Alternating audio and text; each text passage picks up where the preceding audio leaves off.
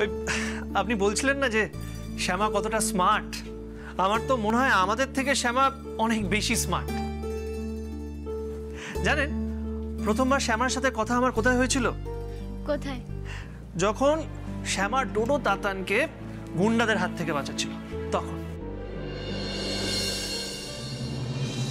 ও দিদি দেখো না আমাদেরকে জোর করে তুলে নিয়ে যাচ্ছে। কি করছ চল বলছি। চল চল দাদা বলছি আমি কিছুতেই ওদেরকে নিয়ে যেতে দেবো না।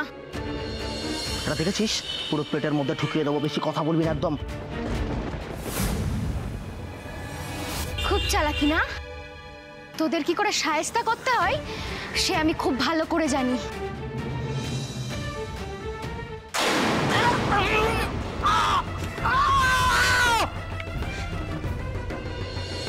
তোমাকে আমি ছাড়বো না। পুলিশের কাছে দিয়ে দেবো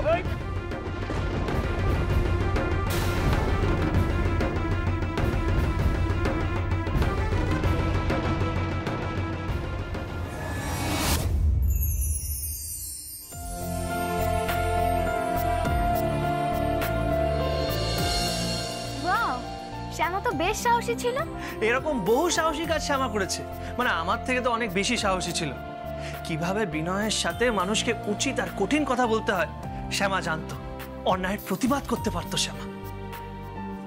একজন বড় মনের মানুষ, একজন বড় শিল্পী ছিল শ্যামা।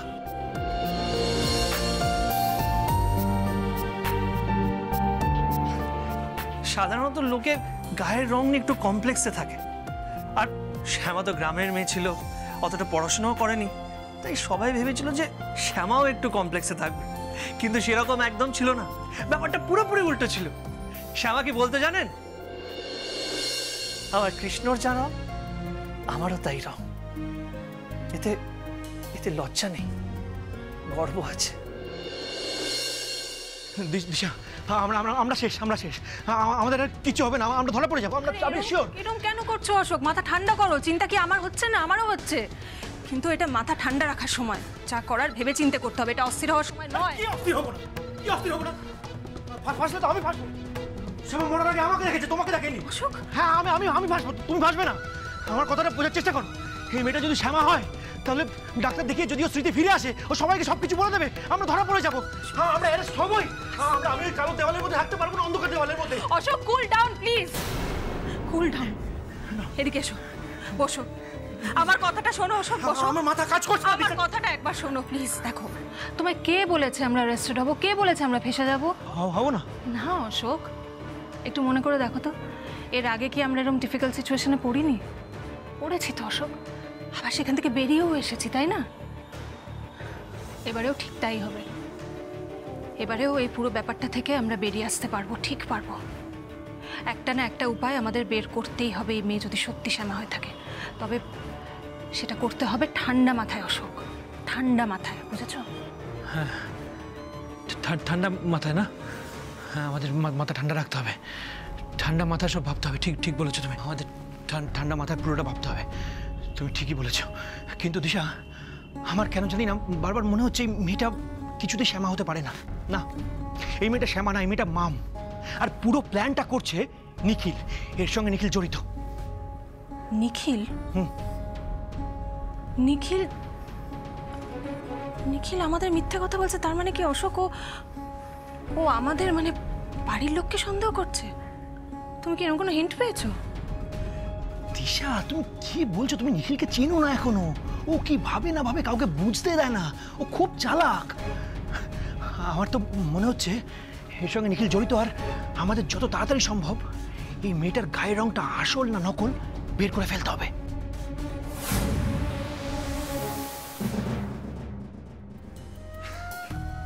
আর এ নিয়ে তো শ্যামার অনেক কাজ করার ইচ্ছে ছিল।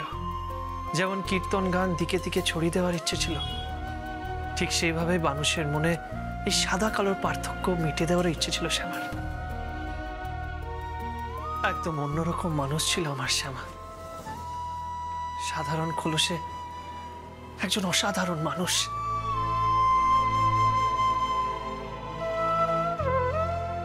আর শ্যামার সব থেকে বড় গুণ ছিল ওর সিম্পলিসিটি তাই তো আমরা সবাই ওকে এত ভালোবাসতাম। আর আমি তো ওকে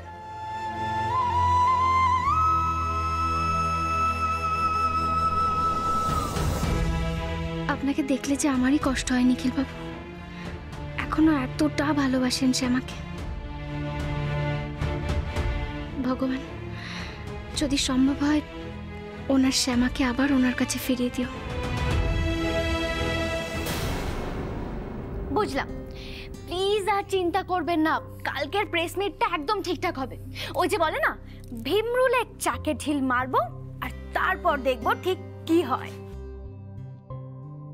আচ্ছা আপনার নার্ভাস লাগছে না তো? একেবারেই না। সে আমার মতো আমিও সাহসী।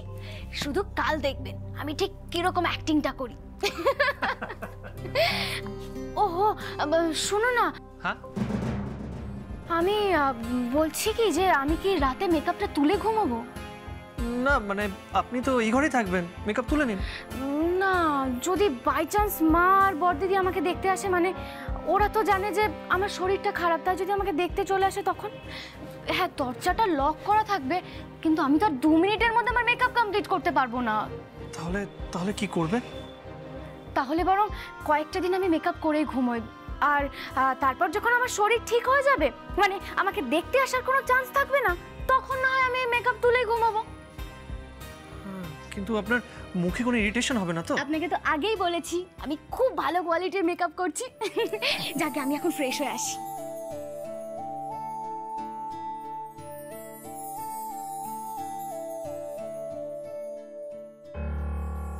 Hello mister Dutta. কাল আমি একটা প্রেস মিট করতে চাই।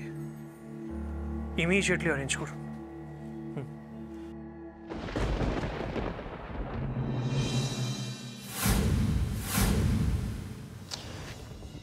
দিশা তুমি চুপ করে দাঁড়িয়ে আছো কেন? ভাবো না কিছু ভাবো না। ভাবছি তো অশোক আমি ভাবছি তো। আর নিখিল যদি বাধা না দিত তাহলে তো সবকিছু এখনই প্রমাণ হয়ে যেত। তবে একটা ব্যাপার নিয়ে তুমি নিশ্চিন্ত থাকো অশোক। এটা যদি মেকআপ হয় তাহলে এই মেয়ে একদিন না একদিন ধরা পড়বেই। নয়তো তুমি ভাবো না রোজ রোজ সারাদিন ওই অত অত মেকআপ করে থাকা এটা সম্ভব? এটা হতে পারে না অশোক। আর একবার যদি ধরা পড়ে, ওই মেয়েকে আমি সবার আগে এই বাড়ি থেকে ঘাট ধাক্কা দিয়ে বের করে দেবো। আর বলব বলব যে নিখিল নির্দোষ। নিখিল এসবের কিচ্ছু জানে না, নিখিলকে ফাঁসানো হয়েছে কারণ এই মেয়েটাই ফ্রড। এটাই বলব অশোক। এইটা যদি বলি, দেখবে মাও আমাদের সাপোর্টে চলে আসবে। সে তো ঠিক আছে, কিন্তু তোমাকে এখন ওই মেয়েটার আশেপাশে থাকতে হবে সব সময় মানে ওর দেখাশোনার সব দায়িত্ব তুমি নিয়ে নাও। আমি অফিসটা সামলাচ্ছি তুমি বাড়িটা সামলাও ওকে সেটা সম্ভব না অশোক। নিখিল কেন? অন্য কেউই আমি সেটা করতে দেবে না। কেন? অশোক আমার ডেলিভারি ডেট এগিয়ে আসছে। আমাকে এমনি এত কেয়ারফুলি থাকতে হচ্ছে। আর মা বর্দি ভাই এরা তো আমাকে অন্য কোনো কাজে হাতই লাগাতে দিচ্ছে না। অবশ্য আমি জানি না এটা নিখিল ইন্টেনশনালি করছে কি না যাই হোক সেজন্য আমার পক্ষে মেয়েটার ওপর নজর অবশ্য একজন না ইনফ্যাক্ট দুজন আছে এমন যারা আমাদের হয়ে এই কাজটা করে দিতে পারে যারা দেখেই বলে দিতে পারে এই মেয়েটা শ্যামা না শ্যামা না। কার কথা বলছো?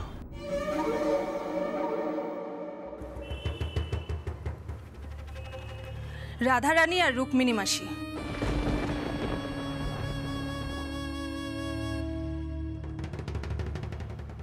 কি বলছো তুমি? আমি ঠিকই বলছি অশোক। ভেবে দেখো রুক্মিণী মাসি রাধারানী এরা শ্যামাকে যতটা কাছ থেকে চেনে আমরা কেউ কিন্তু চিনি না। ওকে ছোট থেকে দেখছে ওকে দিয়ে গান গাইয়েছে ওরা একবার দেখেই বলে দিতে পারবে অশোক। কিন্তু কোনো কিন্তু না অশোক। আমার কথা শোনো। ও আরেকটা খবরও পেয়েছি। রাধারানী এখন আর গায়িকা হতে চায় না সে চায় নায়িকা হতে।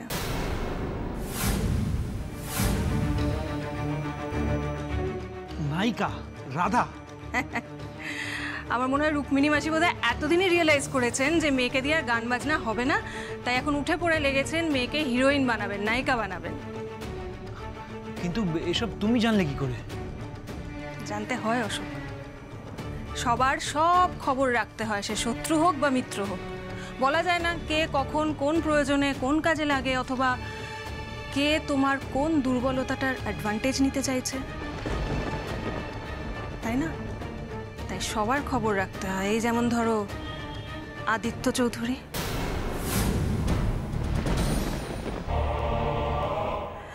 তুমি তো ভাবছিলে ওকে ছেড়ে দেবে, তাই না?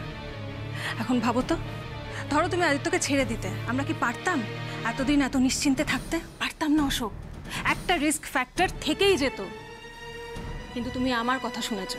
থ্যাংক ইউ ফর দ্যাট আমার কথা শুনে তুমি আদিকে ছাড়নি, ওকে আটকে রেখেছো, তাই আজকে আমরা এতটা নিশ্চিন্ত হতে পারছি। একইভাবে এবারেও আমার কথা শোনো, অশোক। রাধা, রানী, রুক্মিণী মাসিদের খোঁজ নাও। ওদের ঠিকানাটা কিন্তু আমি এখনও জানি না। সেটা তোমাকেই খুঁজে বের করতে হবে। ওদেরকে বলো এই বাড়িতে আসতে এবং সকলের সামনে প্রমাণ করে দিতে যে ওই মেয়ে শ্যামা নয়। কিন্তু দিশা, আমার মনে হয় না যে ওরা আমাদের সাহায্য করবে। যেভাবে ওদের অপমান করে লাস্ট টাইম আমরা বের করেছি বাড়ি থেকে, তারপরে সাহায্য করবে না। করবে অশোক। আমি যেভাবে বলছি, সেইভাবে যদি ওদের অ্যাপ্রোচ করো, ওরা ঠিক কাজটা করবে। একটা কথা ভুলে যেও না অশোক। রাধা রানী আর রুক্মিণী মাসি শ্যামাকে হেট করে, ঘেন্না করে। আগেও করতো এখনও করে। তাই আমার মনে হয়, শোনো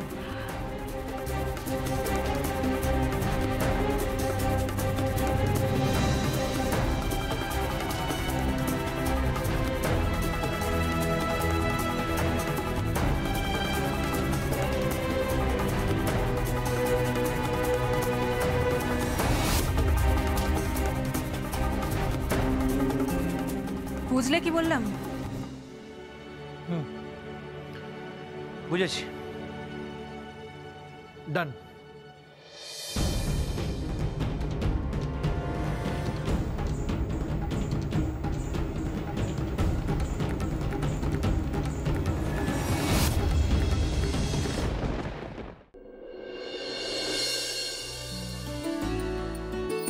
বড় বৌমা এই তিনটে সুতো দিলাম। তার মধ্যে দুটো দাদু ভাইদের হাতে বেঁধে দেবে আর একটা আমার ছেলেটার হাতে আমার অসুস্থ ছেলেটা গো। ওমা নিখিল শ্যামা এখনও নামলো না কেন? আর মেজ বৌমা অশোকই বা কোথায়? মেজ বৌমা? ও মেজ বৌমা! কি? অশোকটাই বা কোথায়? হ্যাঁ রে বিজলি শ্যামাকে দেখেছিস? না মা এখনও তো নিচে নামেনি। এখনও নিচে নামেনি? দেখেছ কানটা বড় বৌমা? আমি কার জন্য পুজো দিয়ে এলাম? শ্যামার জন্যই তো বিপদ তারিণী পুজো দিয়ে এলাম যাতে সুস্থ থাকে ভালো থাকে।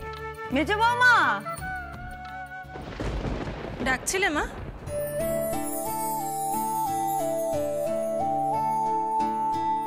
হ্যাঁ ডাকছিলাম তো।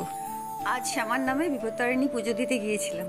এই যে ধরো একটা তুমি নিজের হাতে বাঁধবে একটা অশোকের হাতে বেঁধে দেবে কেমন? ও আরেকটা দরকারও ছিল জরুরি দরকার। বলছি যে আর কবে দেখব ওকে হ্যাঁ? ডাক্তার কি বলছে? কবে ডেট দিয়েছে তোমার? এই তো সামনের মাসের ফার্স্ট উইকে মা। উমা তাহলে তার বেশি দেরি নেই। ডাক্তারকে এক্ষুনি একটা ফোন করো চেক আপ করাতে হবে তো। কি আশ্চর্য বলো তো তুমি এত গা ছাড়া সাবধানের মার নেই এক্ষুনি ফোন করো ডাক্তারকে। আমি কবে থেকে আশা করে বসে আছি হ্যাঁ? রোজ ঠাকুরের কাছে প্রার্থনা করি। তোমার কোল জুড়ে একটা ফুটফুটে বাচ্চা আসুক। তোমরা দুজনেই সুস্থ থাকো ভালো থাকো। তুমি এত চিন্তা করো না মা। আমরা দুজনেই সুস্থ থাকব। আমি এক দুদিনের মধ্যেই চেক আপ করিয়ে নেব। হ্যাঁ খুব শিগগিরই করো হ্যাঁ? আর ফেলে রাখো না কেমন? মা! ওই তো নিখিল এসে গেছে। নিখিল আজ বিপদ বিপত্তারিণী পুজো দিলাম রে এনে একটা তুই বাঁধবি একটা সামার হাতে বেঁধে দিবি কেমন? মা এটা তুমি দিয়ে দিও শ্যামাকে। ও এখনও ঘুমোচ্ছে আর আমি তো অফিসে বেরোচ্ছি। ঘুমোচ্ছে? হ্যাঁ। কেন ঘুমোচ্ছে কেন? ও তাই তো ঘুমোবেই তো। আহারে কোথায় কোথায় ঘুরে বেরিয়েছে মেয়েটা এতদিন? ক্লান্ত হয়ে আছে বড্ড না? তা ঘুমোতে দে। মেজো বৌদি মেজদা ভাই কোথায় গো? নিখিল।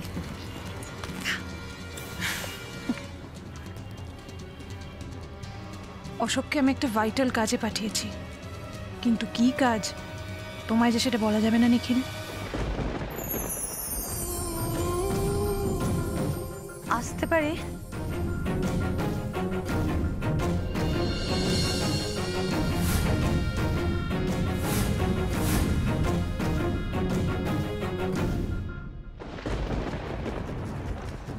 স্যার আমি কি এখানে বসতে পারি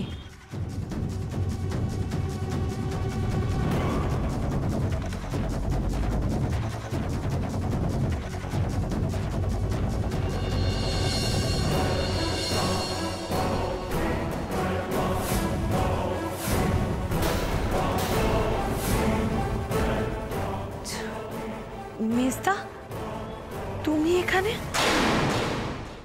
কি হলো রাধা তুই তো আমাকে দেখে ভূত দেখার মতন চমকে উঠলি। টেনশন করিস না বস। না মানে বলছি মেজদা তুমি কি এই হাউসের প্রডিউসার আমি বলছি তো ভয় পাস না বস।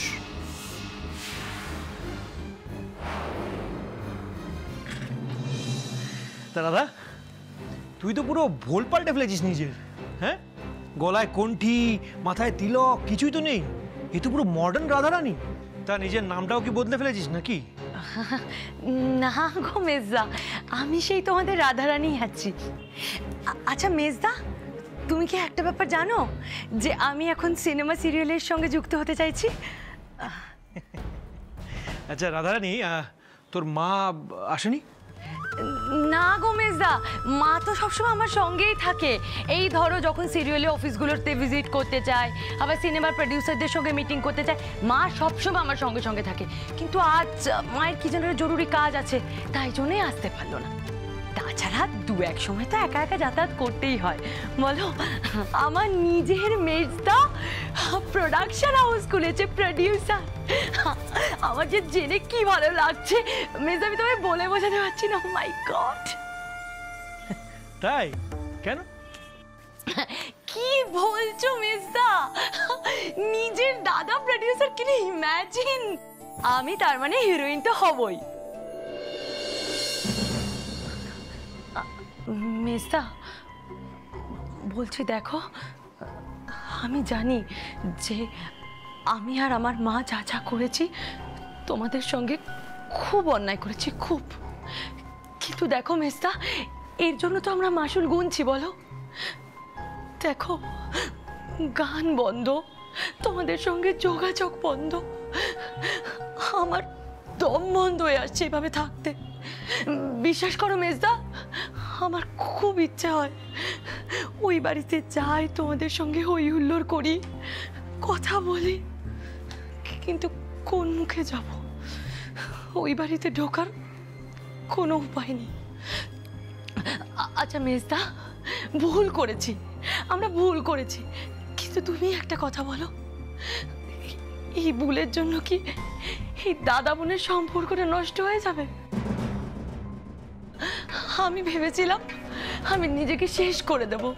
এইভাবে বেঁচে থাকার কোনো মানেই হয় না। কিন্তু ওই যে বলে না, মনের জ্বর মা আমাকে সাহস জোগালো। বলল, দেখ রাধা, তোর দ্বারা তো আর কোনোদিনও গান হবে না। সত্যি তো, ঠিকই বলেছে। আমি তো আর কোনোদিনও গান গাইতে পারব না, বল। তাই বলল, যদি একটু অভিনয়ের চেষ্টা করে কিছু করতে পারি। তাই জন্যই আমি এই অভিনয় জগতে চেষ্টা শুরু করেছি। বিশ্বাস করো মেজদা, আমার জীবন থেকে গান চলে গেছে, নাম যশ খ্যাতি সব চলে গেছে। কিন্তু আমি যদি এরপর অভিনয় জগতেও কিছু করতে না পারি, তাহলে আমি আর বাঁচতে পারব না। আমি আর কারও কাছে মুখ দেখাতে পারব না। কারোর কাছে না। কান্নাকাটি করছিস কেন রাধা? আমি আছি তো নাকি? আমি তো তোর দাদা। তুই আমার বোন তোকে হিরোইন করব না তো কাকে করব? তবে এখানে যে আজকে তোকে ডেকেছি এটা কিন্তু বাড়ির কেউ জানে না। কেন গো মেজদা না মানে বলছি মাসিমণি মেশো মশাই ছোটটা কেউ জানে না। আমি তোমার সঙ্গে দেখা করতে এসেছি। কেন বলো তো? কারণ আছে। না মানে অ্যাকচুয়ালি আমি শুনেছিলাম শ্যামা মারা যাবার পর থেকে ছোটদা কীরকম যেন অস্বাভাবিক আচরণ করছিল। মানে আমি বলতে চাইছি ছোটদা ভালো আছে তো? মানে পরিবারের সকলে সুস্থ আছেন তো? একদম সবাই সুস্থ আছে। আচ্ছা মেজদা বলো না তুমি হঠাৎ আমায় এখানে রেখে পাঠালে কেন? বলছি। রাধা শ্যামা ফিরে এসছে।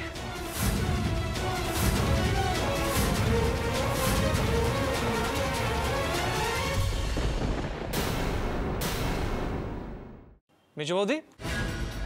বলছিলাম মেজদা ভাই কোথায়? তোমার মেজদাভাই তো খুব সকাল সকাল বেরিয়ে গেল। বলল খুব ইম্পর্ট্যান্ট একটা কাজ আছে ওটা সেরে অফিসে পৌঁছবে।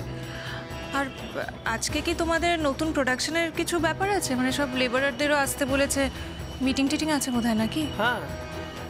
ও দেখো সেই সব অ্যারেঞ্জ করার জন্যই হয়তো হাতে সময় নিয়ে বেরিয়েছে। একবার তো শ্রাবণীকেও ফোন করল শুনলাম। তুমি অফিসে গেলে ওকে পেয়ে যাবে। একবার আমাকে বলে বেরোতে পারতো। সবাইকে একটা ইম্পর্টেন্ট কথা বলার ছিল। অফিসে গিয়ে বলে নিও। আসলে কথাটা কোম্পানি সংক্রান্ত না। ভেবেছিলাম সবার সামনেই বলব। বাট ইটস ওকে মেজা ভাইকে অফিসে গিয়ে বলে দেবো। আপাতত তোমাদের সবাইকে বলে দিই। কি ব্যাপারে নিখিল? মা আমি একটা প্রেস মিট করতে চাই। প্রেস মিট কিসের জন্য? শ্যামার জন্য। প্রেস মিট করে সবাইকে জানাতে চাই যে শ্যামা মৃত্যুর মুখ থেকে ফিরে এসেছে।